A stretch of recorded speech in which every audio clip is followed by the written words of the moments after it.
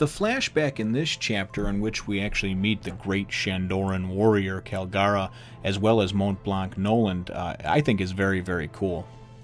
One Piece, Chapter 286 The Shandoran Demon. Well, hello, my brothers and sisters of the Nerd Nation. I, as always, am Jim here to bring you another review on the awesome and action packed and thriller minute tale of One Piece.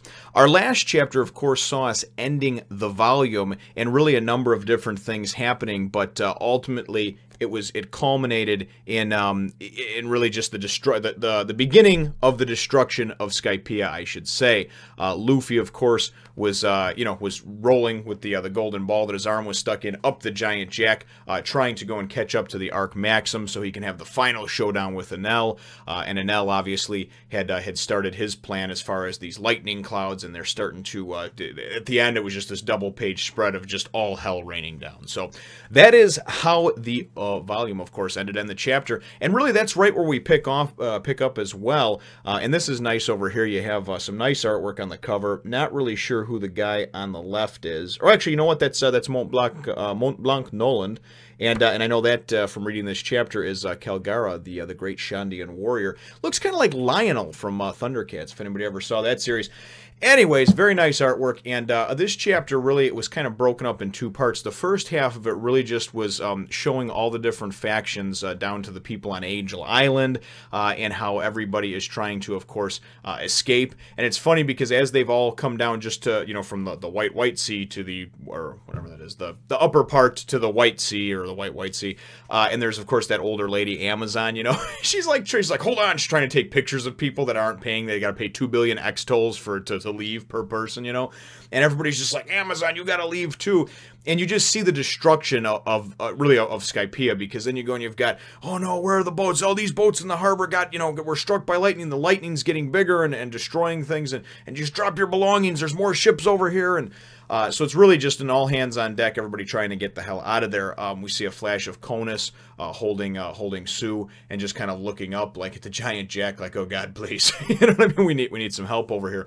Um, and then you, you know you also see uh, the the Shandians, uh, you know, of course, uh, leaving their their cloud village and. Um, and you see their, uh, their their chief, and he's going in and praying to the great warrior Kalgara, and or Kalgara, however you pronounce it. And uh, and nonetheless, you wind up seeing a number of different people. You see Luffy, uh, of course, is, is still trying to get up and chase the uh, you know chase Enel for the for the showdown that he's going to have with him. Nami tells everybody, "Hey, listen, you know, you guys got to get out of here, get to the ship, uh, do the best you can." you know, obviously most people are unconscious, and she's going to go up after Luffy. But even she's kind of hesitant. She's like, "I have no idea if Luffy can go and can can actually beat him." You know, so I'm hoping that he can, right? Uh, nonetheless, though, like I said, very, very cool stuff.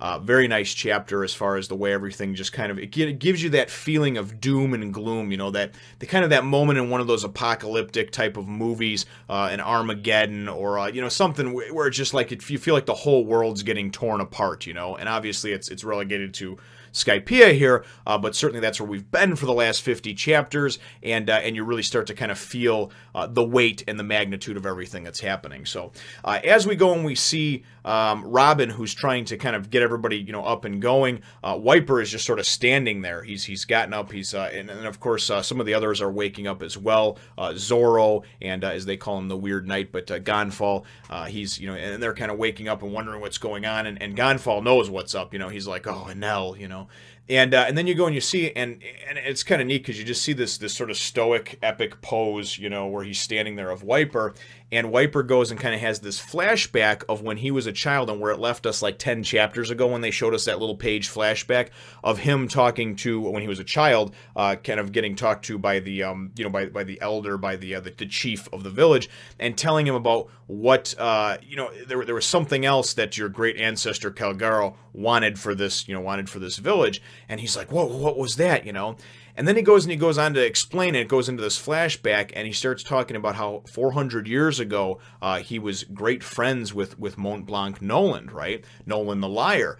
And it's neat because then it goes into for the second half of the chapter, you get this flashback, and the flashback is um, you, you wind up seeing Uh, a bunch of uh, we assume that this is on, of course, uh, you know Jaya on the well it says Jaya, but uh, that you know in the area of, of the Shandian ruins or, or, the ruins of Shandora, that there must have been some uh, some sailors, maybe some pirates, some treasure hunters that had landed there and uh, and were then being chased out. You just kind of go, you get dropped right into the middle of this, and they're just sort of running back to their ships, and they're trying to row in the rowboats to get back to their their ship, and and they're like, oh no, the demon, the demon of Shandora, you know, and uh, and that's when you wind up seeing after a couple of pages you actually see Kalgara or Kalgara and uh, and he's pretty cool looking. He really is. He's wicked looking man. He whips this like chain ball into the side of the uh, the ship and winds up going to sink it he's like you'll return everything that you you know that, that you're you'll drop everything that you took and leave you know?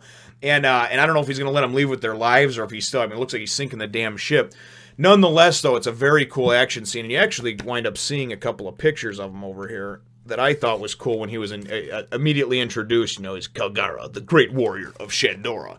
And really, just the way that he is drawn, I think, is very cool, man. He just reminds you of just this cool, just demonic beast, you know, with his hair flowing out and everything else. And I don't know, just like I said, just looks very cool, very impressive to me. And then from there on to the end of the chapter, we actually get uh, just a few pages, and uh, and it winds up taking us to somewhere on the Grand Line, obviously. And uh, and there is this uh, there's this ship, and and uh, we we wind up finding out very quickly that this ship is actually from the country. I can't pronounce it because it's like L V K N E L, so Lavinil. Uh, but the, the, the kingdom of Lavinil, and we find out uh, that this ship is uh, has been they're out of provisions. They've been on the Grand Line. They face snow. They faced rain. They face this. There's monsters. Blah blah blah. All the normal things that you know. Obviously, we, we have come to know and understand about the Grand Line over the last couple hundred chapters. Um, and then they wind up talking about and they're like, uh, and you just see this sort of zoomed out panel of the ship, you know, and uh, and not really anybody in particular on it. And then some of the crew members are talking about how, listen, you know, uh, we've run out of food, uh, and they're trying to explain to the admiral we've run out of food and provisions. We're, we're basically we're in dire straits right now. We're screwed, right? You know, the cook passed out, all this other stuff. So then all of a sudden they hear somebody jump over the side, and they're like, what the hell, you know? And they're like. Oh my God! Did the admiral just jump in like to commit suicide? you know, and they see his clothes like neatly folded up and everything over there. You know, and they're kind of thinking like, Hey, he just he couldn't handle it anymore. And then somebody else go, like, he couldn't take it, you know, being so hungry and just this desolate and destitute, right? You know, doesn't want to get to the point where he figured he'd end it on his own terms. That's what everybody's thinking. And then somebody's like, no, man, he's you know he's been on the Grand Line and he's you know he's uh, he's come back or, or gotten out of the you know of the of the because obviously there's a lot of uh, monsters and things like that in in the ocean in the sea of the Grand Line. Uh, but he's come back twice and all this other stuff, you know. And next thing you know, they go and they're like, "Oh, look, what's that over there?" And they see it floating in the water, like it's a chestnut. If you remember uh, from from Mont Blanc Cricket, who's a descendant of his, remember that's what he kept calling. Luffy kept calling Diamond Head, but it looked like a chestnut that was floating in the in the water when he when he was Luffy was pulled in. So anyway, we wind up finding out then and getting introduced to this guy that they've been calling Admiral. He's the admiral of the exploration fleet. Is is Mont Blanc Noland, and that's how the chapter ends off or whatever. Um, but Mont Blanc Noland winds up, you know, he gets out, he's back on the ship, and he actually went and tied a rope around and then had them had the the crew members haul in this giant catch, this giant fish or whatever that he had. So obviously they can eat.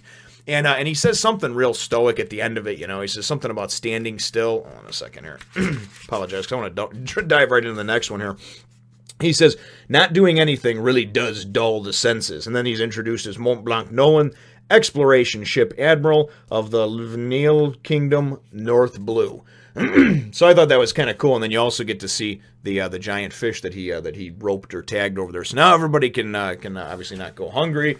And um, I don't know here. Let's see. I guess we're looking. Uh, and it looks like we're. I'm going to read in the next chapter, but it looks like the next chapter is also a flashback. So um, my chapter. That's how the chapter ends off. Obviously, my chapter question for you folks is: What are your thoughts uh, initially on just the design, the look of Kalgara, and uh, and then also too now finding out that Mont Blanc Noland was actually. I didn't know that he was an admiral of this this fleet. Um, I just thought that he was I don't know, just I guess some guy, you know, like a treasure hunting type explorer. And when he did come upon Jaya, uh, he just you know kind of went back to his kingdom and said, "Hey, listen, there's there's a, there's a city of gold here," you know. So um, I'm just really looking eager, looking forward to diving into the next one. So leave your answers to my question in the comments down below. Feel free to hit the thumbs up, the like button if you should think that I deserve it, and subscribe if you haven't done so already.